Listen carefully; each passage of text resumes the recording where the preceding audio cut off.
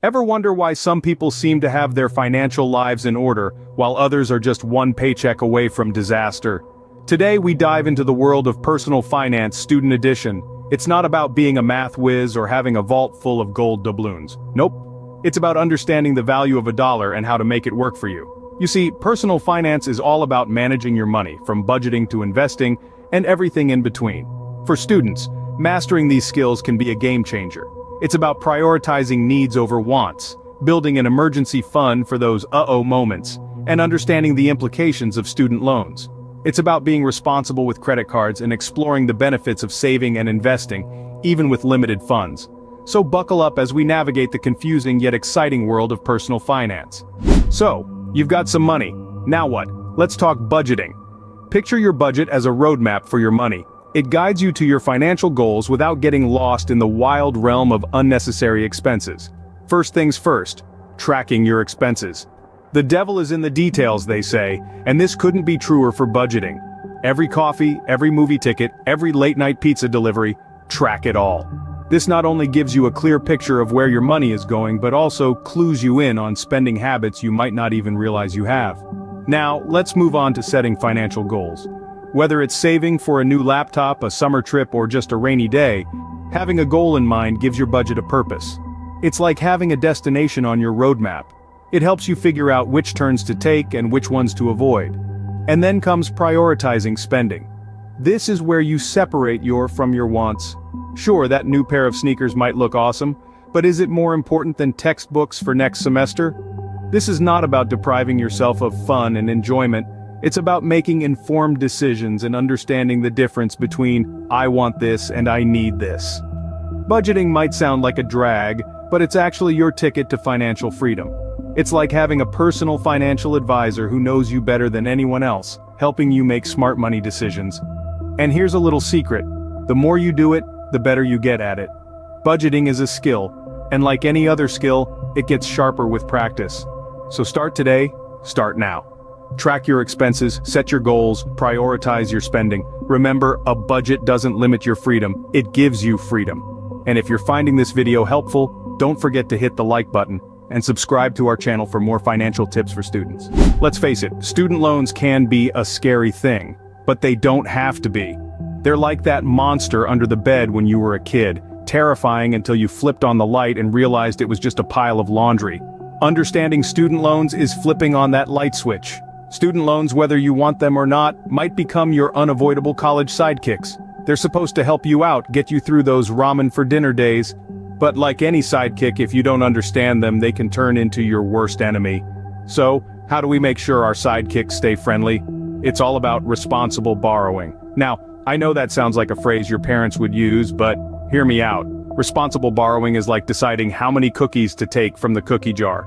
Sure, you could take all of them, but then you'd probably feel sick later. And trust me, a student loan hangover is not fun. Responsible borrowing means only taking what you need. It's understanding that these loans aren't free money. They're more like a rental service, and the longer you keep them, the more you end up paying.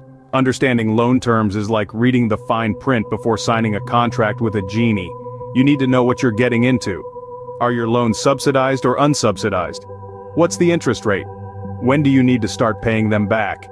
These are the questions you need to ask before signing on the dotted line. And then there's the big one, repayment options. This isn't a one-size-fits-all situation. Some people might want to pay off their loans as quickly as possible to minimize interest. Others might need a lower monthly payment to fit within their budget. It's about finding the best fit for your financial wardrobe. Managing student loan debt effectively is like being the conductor of your own financial symphony. It's about making all the different parts work together in harmony. It's not about how much you owe, it's about how well you manage it. So take control, be the maestro of your money, and make your student loans work for you, not against you. Remember, it's not about how much you owe, it's about how well you manage it. Money doesn't grow on trees, but there are plenty of ways to earn it if you're a student. Part-time jobs, for instance, offer not just a source of income but a wealth of experience. From learning the ropes of the workplace to honing those oh-so-important people skills, part-time jobs are a terrific way to dip your toes into the world of work. And the best part, you're getting paid to do it. But what if you're juggling lectures and assignments? How can you possibly add a job to the mix? Well, let's get creative. Ever thought about freelance work? Websites are always on the lookout for graphic designers, writers, translators, you name it. If you've got a knack for something, there's likely a paying gig out there for you. Or how about turning a hobby into a moneymaker? If you're a whiz in the kitchen, consider selling homemade cookies or cupcakes. Got a green thumb? Offer your gardening services around the neighborhood. And let's not forget about tutoring. If you excel in a particular subject, why not help others and earn some cash at the same time? Now, once those dollars start flowing in, it's crucial to manage them wisely.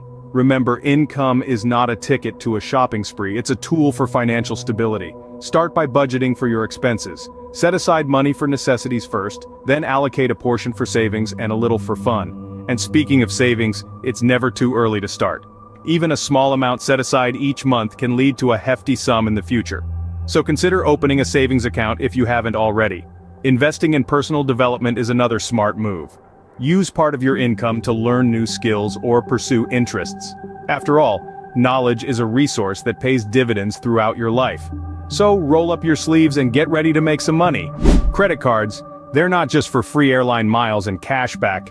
They're a tool to build your financial future. Now if you're a student, you might be thinking, why should I care about credit? Well, your credit score is like your financial report card. It shows lenders how responsible you are with money. It can affect everything from the interest rates you receive on loans, to your ability to rent an apartment or even get a job. So, how do you build credit as a student, you ask? It's quite simple.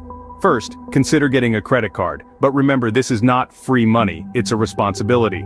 Always pay your bills on time and in full if possible. Late payments can seriously hurt your credit score. Second, keep your balances low. It's recommended to use no more than 30% of your available credit limit.